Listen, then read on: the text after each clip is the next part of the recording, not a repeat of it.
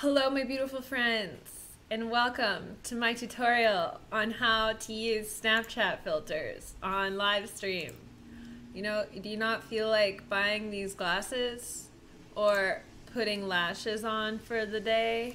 How about you're just really feeling like Kermit the Frog or a psychedelic mushroom? Whatever you identify as, me being a glamorous potato with wings.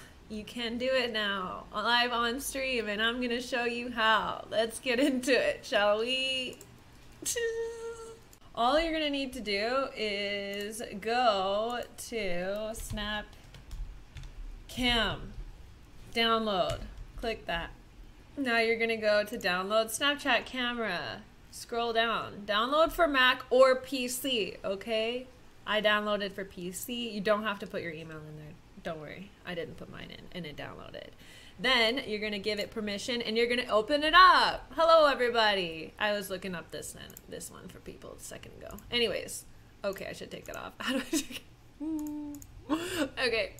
Um, you're gonna go into settings and you're gonna choose the camera that you're wiring in. Right now I'm actually using EpocCam, which is connected to my iPhone, which I figured out how to do today as well. That's an app that you have to buy on iPhone that is an Elgato app, but allows you to use an iPhone cord, connect it to your computer, and now your iPhone is a webcam. And I broke my GH5 recently, so this is a really, really nice alternative, and I think the quality looks great. So, hi, I put my Epoch camera in. That's the one that's coming in. Make sure that your OBS or Streamlabs is closed because otherwise it's going to compete for access for it.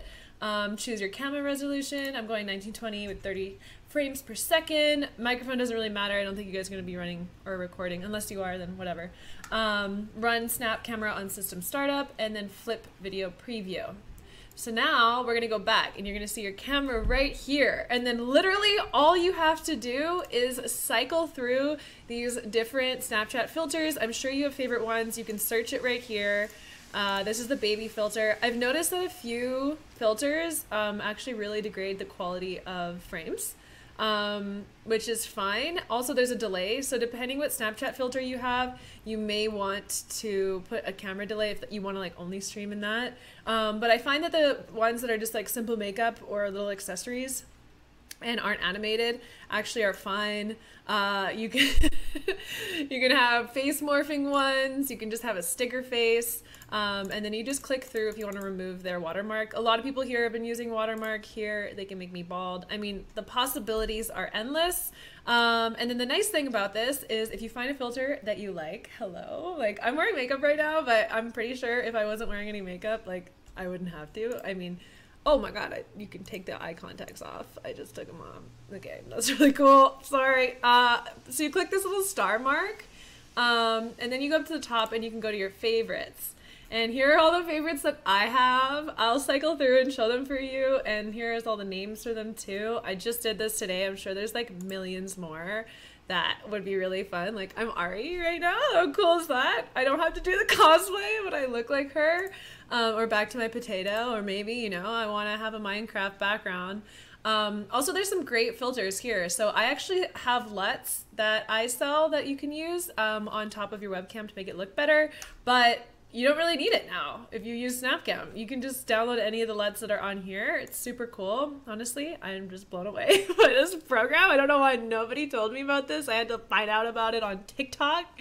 God bless TikTok. Um, so yeah, you just get to save them. And then another thing that I found out is you click this little button here and it's lens hotkeys. So you could add, you know, your Elgato Stream Deck, you could add these to your keyboard. And so every time that I click F8, it's gonna put me back on the glasses. So I think there's plenty of opportunities to do some really fun stuff. Like you could take you can take your stream anywhere and you can harass people in Zoom calls. Like this to me is just super, super exciting and interesting. And I wanted to share it as soon as I found it with you guys. So I hope you enjoyed this video. Like, look at this. Okay, here. Here's a simple version.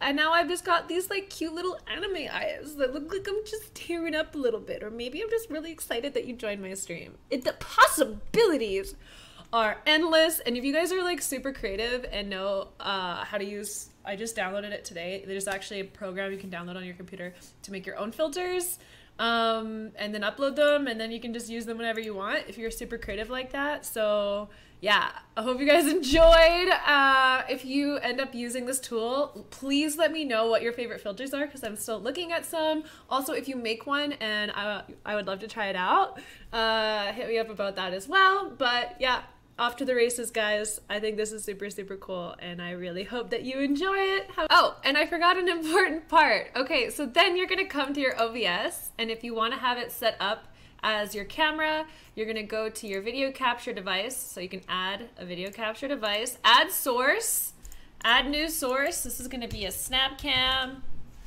add source, and then select snap camera, and there you have it. Well, this was a good uh, knowledge that you should probably set your phone to not have alarms when you're streaming. And then you have the source added to your computer. This one's a little bit laggy, but I think it looks kind of cool. All right, I love you guys. See you later. Good luck streaming. Can't wait to see what you guys get creative with this program.